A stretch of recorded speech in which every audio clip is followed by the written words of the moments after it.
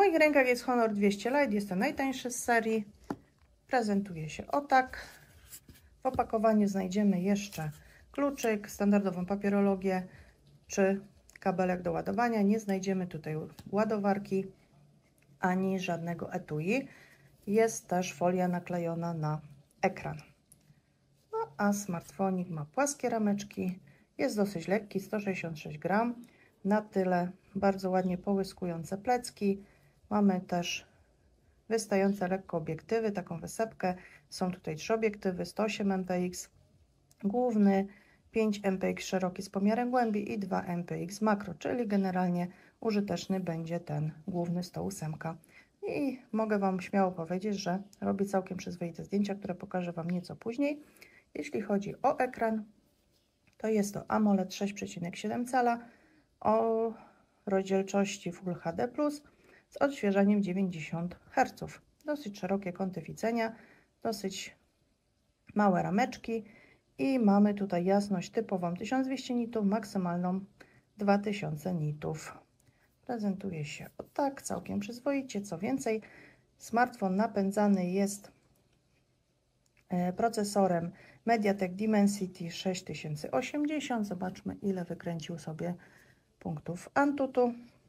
Ma też 8 GB pamięci RAM i 250 GB pamięci na pliki. W Antutu otrzymał 415 tysięcy punktów. Troszeczkę ponad.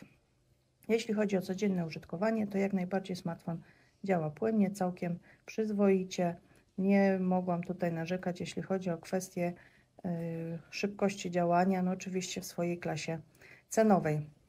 Na pokładzie znajdziemy Android 14 z nakładką Magic OS 8.0, a z ciekawszych funkcji, to zaraz Wam pokażę, jest coś takiego, tylko musimy sobie włączyć. Jak wejdziemy w ustawienia i w asystenta AI, to tutaj jest takie coś jak magiczny portal, czyli generalnie możemy przytrzymać tekst i przesunąć go w inną aplikację, czy przytrzymać też zrzut ekranu, miniaturkę zrzutu, czy obraz.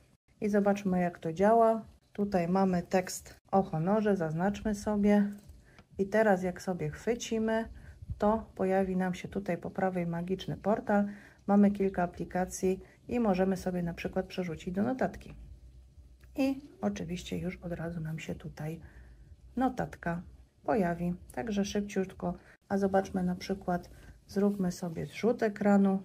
I teraz tą miniaturkę też sobie możemy przerzucić do magicznego portalu i na przykład komuś od razu wysłać coś, czy też wrzucić do na przykład notatki i gotowe.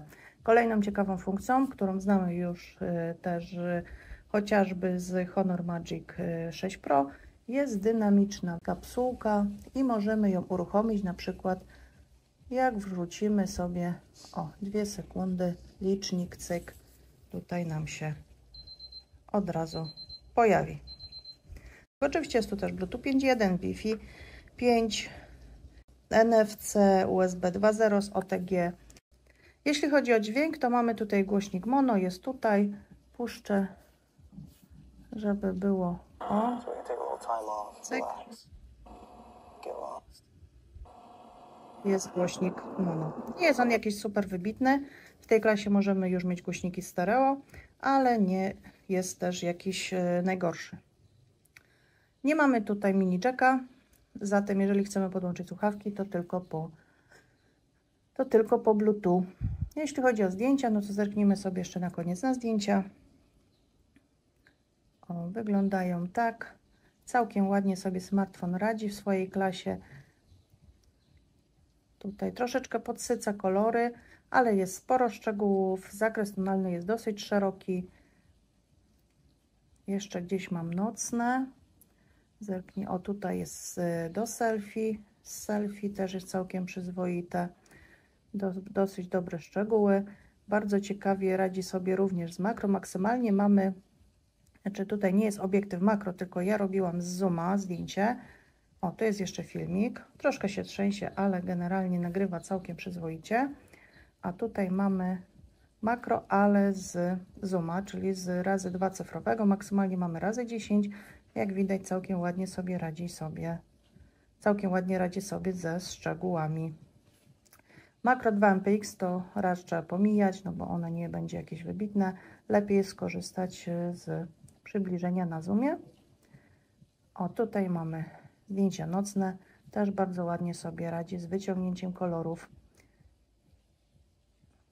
i świateł. Tu jeszcze filmik. Troszeczkę szarpie, no ale to też nie jest jakiś wybitny smartfon, więc tak to wygląda. Jak Wam się podoba? Pełna recenzja na technosenior.com, a ceny w komentarzu.